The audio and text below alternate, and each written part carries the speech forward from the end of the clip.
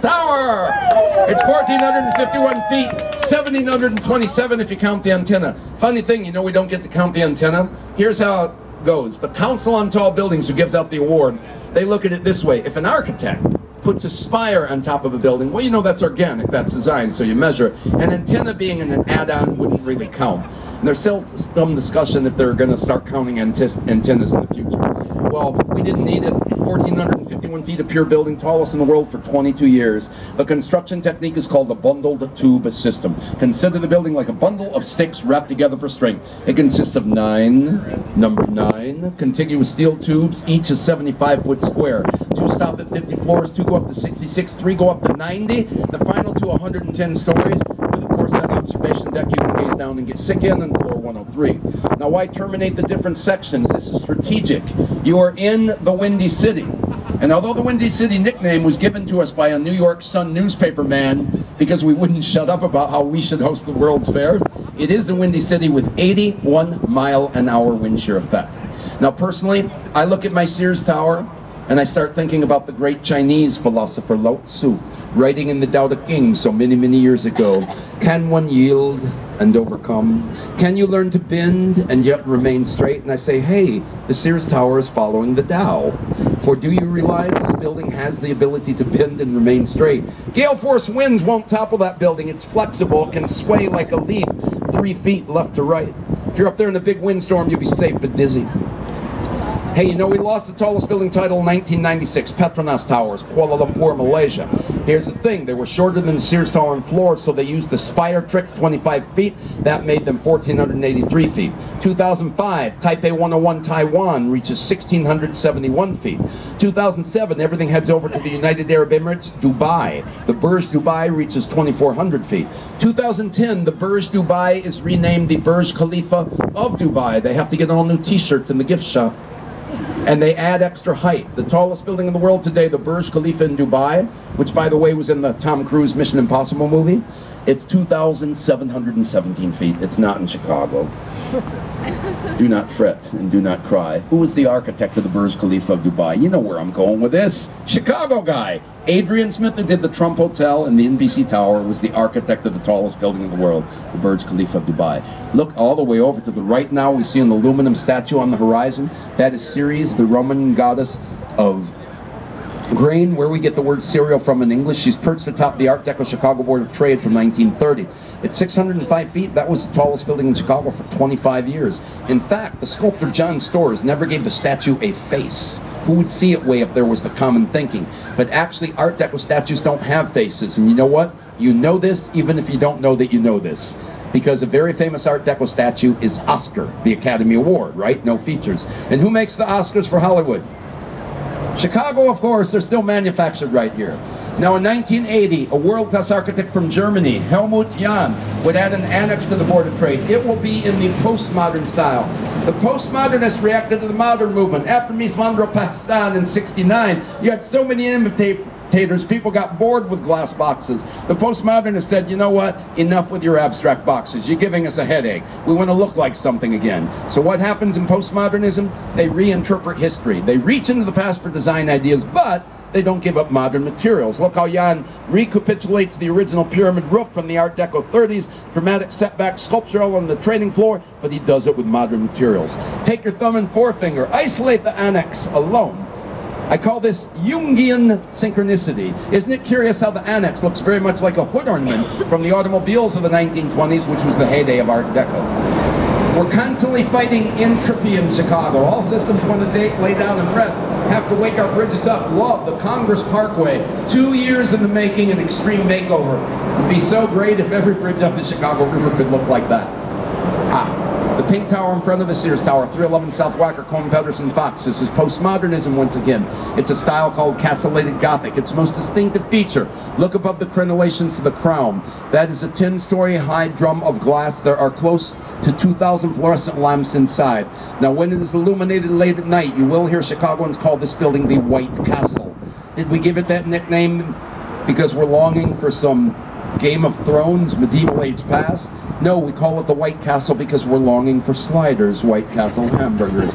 If you see this modern building lit up at night, it looks very much like a giant White Castle hamburger joint, that rather famous Midwestern chain with a neo-Gothic facade. But let me be clear, when I compare this building to the hamburger joint, I'm not trying to make some lame tour guide joke, there's a connection. The White Castle Restaurant and 311 South Wacker share the same inspiration. They were both actually modeled after one of the few buildings which predate the Great Chicago Fire you can see downtown. At the corner of Chicago and Michigan Avenue, there's a little visitor center for you. It's called the Water Tower.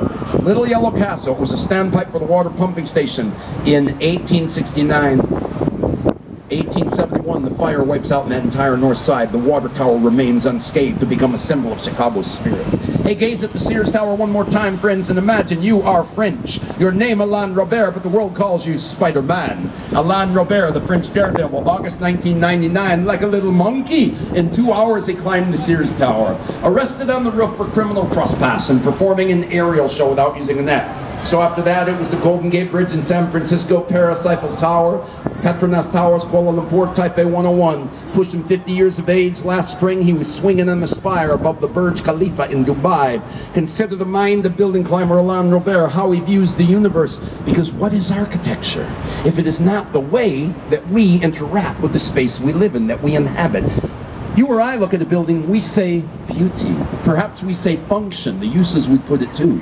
Alain Robert looks at the same building and says, cool, a new obstacle to help me overcome my fear of heights. He suffers from vertigo, that's why he climbs. He's getting over it. It's taken 45 years. Should we all climb a tall building like Mr. Robert? No, of course not. I would, however, suggest that it never hurts to look at the universe with new eyes. I learned to think this way from a man who always said universe when he was writing Spaceship Earth. He seemed to be a verb when he took a truncated icosahedron, using one of the strongest structures in nature, the four-sided triangle known as a tetrahedron, and gave us the geodesic dome like the one they have at Disney World.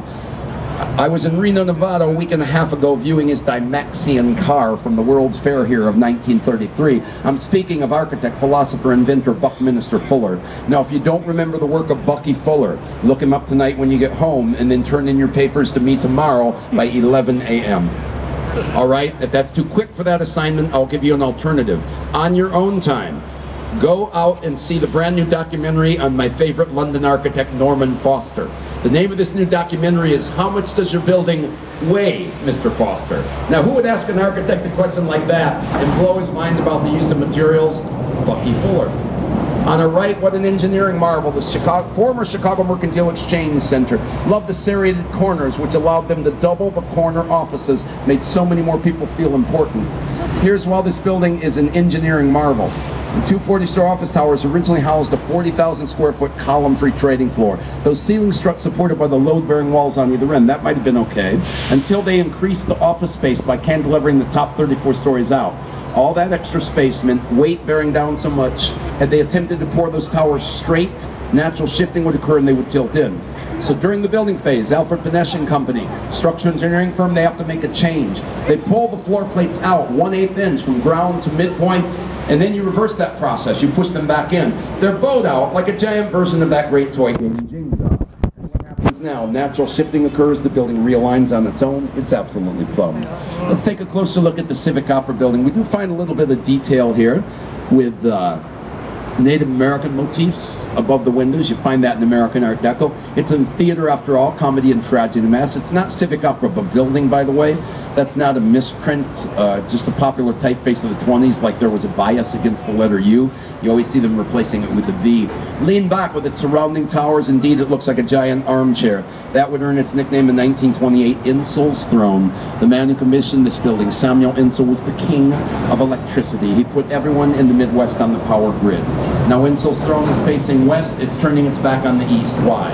Well, some tour guides would claim because of Sam's daughter, an opera singer.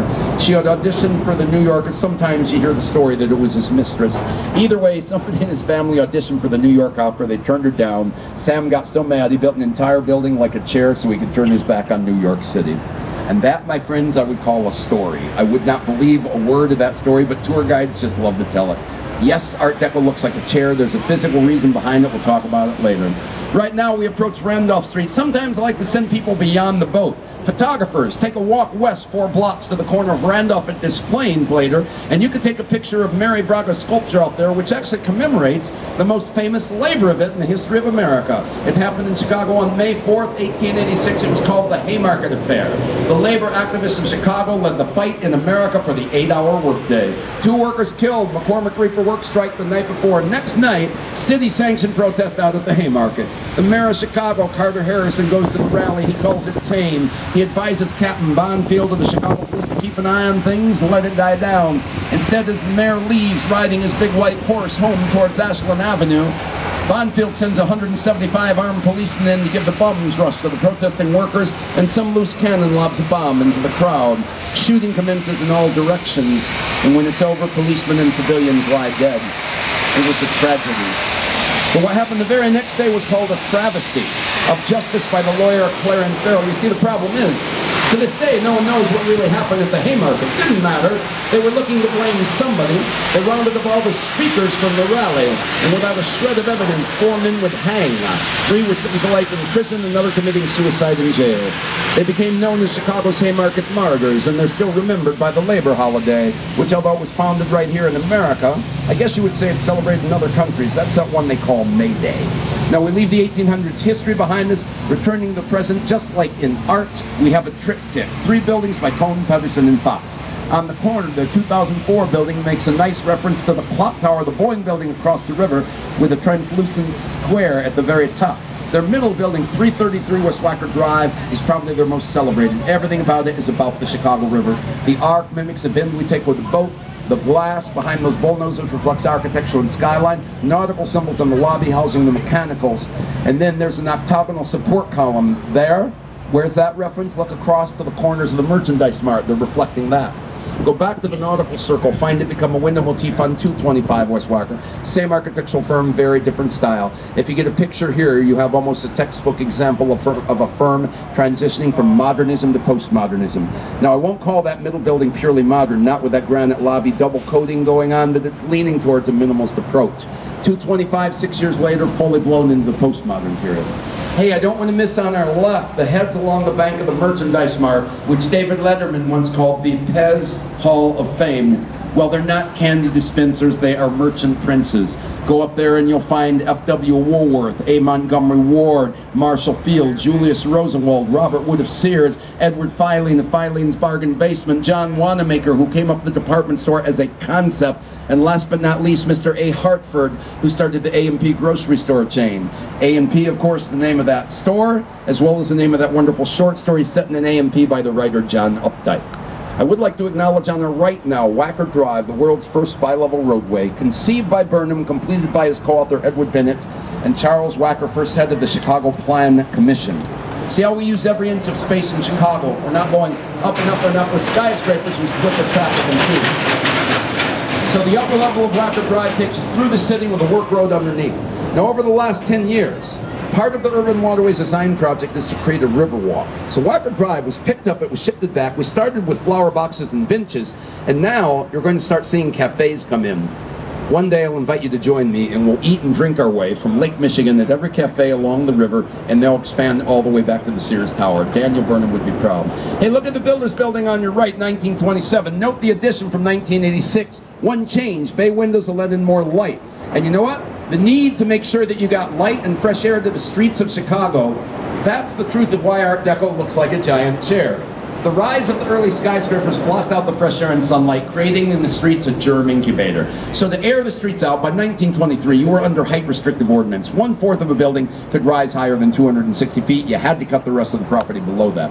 Ah, the LaSalle Wacker building on the right, Holabird and Root. That's an Art Deco style. See how they do that? They do that in that way. They make, uh, they have kind of a light well and air coming down.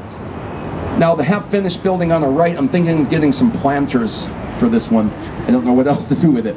Um, this was supposed to be an 1,100 foot skyscraper, a hotel condominium project called the Waterview Tower and Shangri-La Hotel. They ran out of funding. But I have heard, I heard a radio interview the other day, there's a Chicago developer trying to resurrect it as a 65 story condo.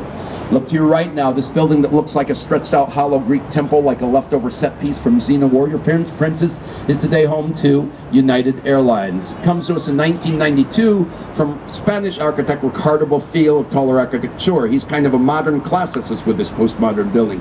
He merges a Greek temple style roof, pilasters like Greek columns with a glass curtain wall of modernism. Next door, 55 West Wacker Drive. I have but one word for that building, it's architectural style. Brutalism, and that's enough. Let's move on quickly. 35 West Wacker Drive. Coming up next is home to our largest advertising firm, the Leo Burnett Company. Irish architect Kevin Roche with this postmodern 1989 building is thinking about Louis Sullivan. Chicago school ideal, right? Building as Greek column, base, shaft, and capital. Now there's a bit of a prairie school reference worked in. Just take the top of the building. You've got overhanging eaves and those horizontal lines. If you took the top of that building down, you put it on a green lawn, you'd have a Frank Lloyd Wright residential house. By the way, Frank Lloyd Wright's Robie House is a tour you can do in Chicago. Now, this beautiful little park coming up on our right is our Illinois Vietnam War Veterans Memorial and Wall. It truly has become a favorite of Chicagoans, and it really shows the potential of what we can do with the River Wall. What should the Chicago River look like? This is what the Chicago River should look like right here. Now, you see the dark green Art Deco building up there that looks like a giant bottle of champagne, yeah? That's the Hard Rock Hotel. The champagne design might have been intentional. Today it's the Hard Rock Hotel, but it dates back to Prohibition. It was a Union Carbide and Carbon Company. Maybe the Burnham brothers were giving us editorial comment on the era. Behind it with the chevron roof to Prudential Plaza, postmodern Art Deco inspired by New York's Chrysler Building. And the tubular white building beyond them, rapidly disappearing, was the Aon Center at 1136 feet, third tallest building in Chicago. Like a rocket ship about to take off, the skinniest skyscraper in Chicago, 75 East Wacker Drive, coming up on our right, only nine and a half foot across that octagonal crown. It is clad with terracotta, which was so popular after the Great Chicago Fire because being fired clay meant fireproof. Now, artistically, Charles Beersman, the architect of the Wrigley Building, he uses terracotta like an artist. Ever watch an artist at the canvas?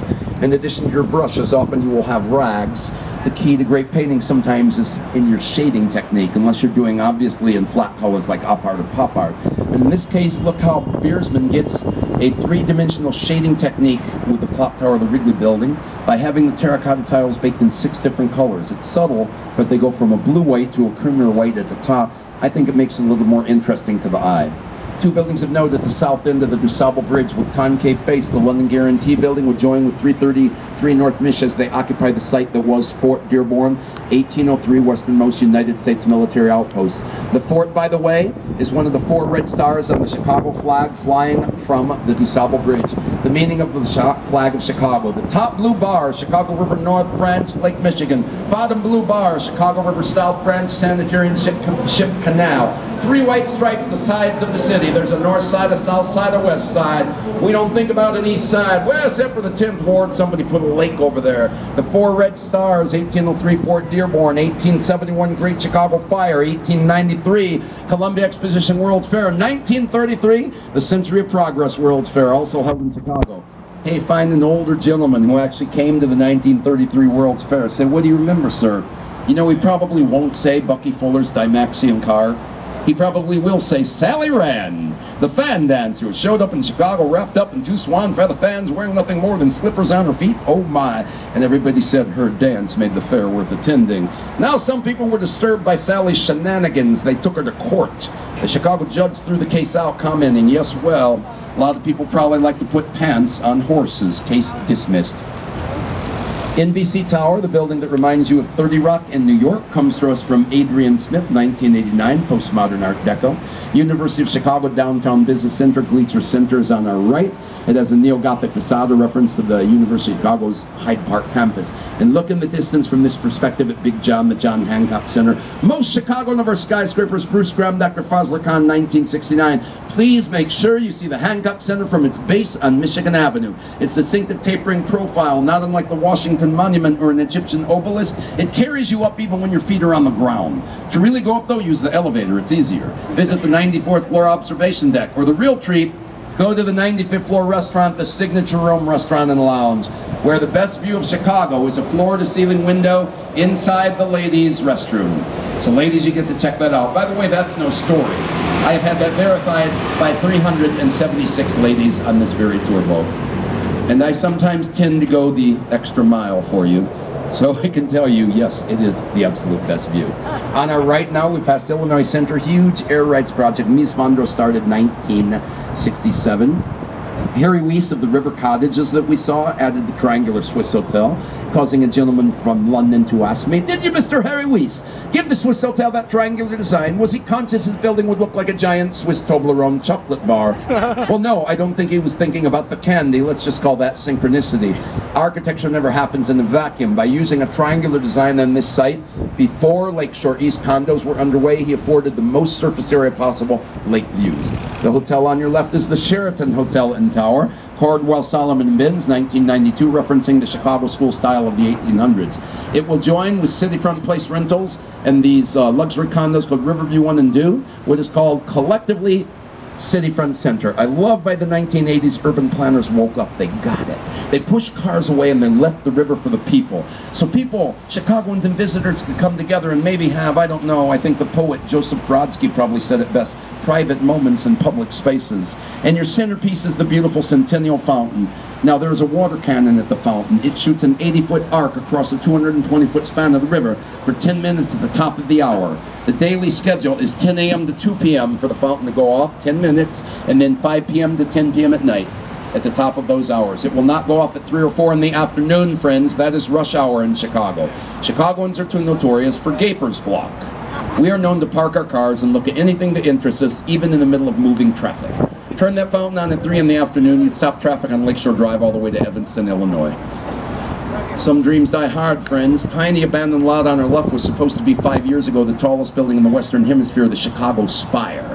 Spanish architect Santiago Calatrava had designed a beautiful spiraling design. It would have reached 2,000 feet. We watched the developer drop 114 caissons in a 76 foot deep pit right here to support that building. And then we came to work one day and all the workmen had run away. There was nothing but empty space. It was the same as it ever was. And I said, wait a minute, this is not my beautiful skyscraper. This is not my Chicago spire. What happened? Well, the developer ran out of dough. That's what happened. They basically had enough money to dig a big hole, but they had no more money to pay Mr. Calatrava. The architect had to file an $11 million lien for fees owed. That was pretty much the end of the story. And I'd like to thank David Byrne for helping me tell it. Now, just east of Lakeshore Drive, indeed the only skyscraper east of Lakeshore Drive in the area, is Lake Point Tower Condominiums. First curved glass skyscraper, tallest condo in the world in 1968. Schipporeit and Heinrich architects, inspired and designed by their teacher Mies van Der's idea for an off-glass tower in 1920s Berlin. Optimum lake views because of the glass curtain wall. The shallowness of the curve retains your privacy. The private club at the top is now a public restaurant called Cité.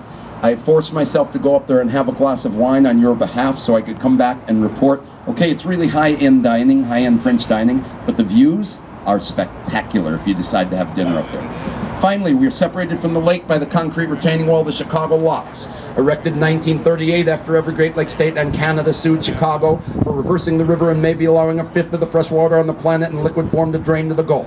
The court gave us a number in barrels per day. We have to monitor it.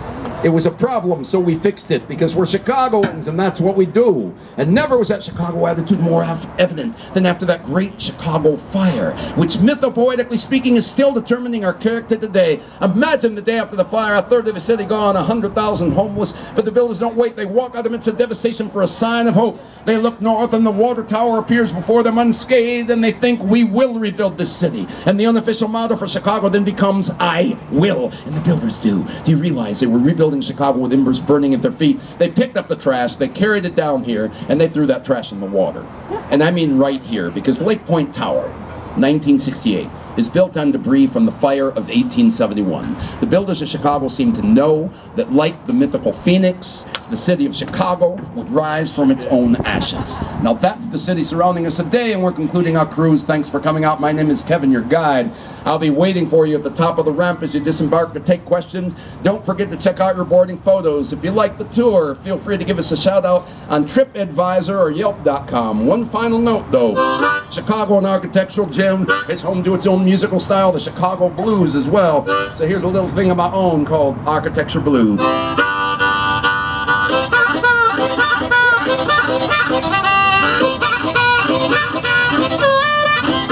I'm going to Chicago, the baby, don't you wanna go? I'm going to Chicago, the baby, don't you wanna go?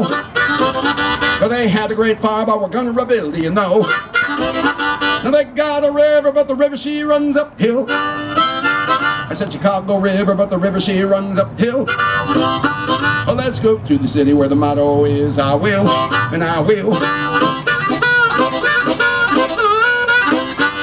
A man with a fire, and the fire almost took the town. I said the great Chicago fire, but she almost, she all burned down.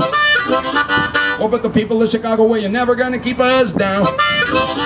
I said the windy city, rusty heart of people can't keep us not when we are living in the most architecturally significant city on the face of this entire planet Earth, with all apologies of Florence, Rome, Paris, Prague, Vienna, New Delhi, Helsinki, London, Dublin, Auckland, Sydney, Antwerp, Amsterdam, Moscow, Warsaw, Bucharest, and Budapest, Athens, Tel Aviv, Istanbul, or Constantinople, Los Angeles for one or two buildings, Philadelphia, Baltimore, Boston, San Francisco, and New York City. All right. But you can't keep Chicagoans down. Folks, have fun in Chicago. I'll see you on the dock.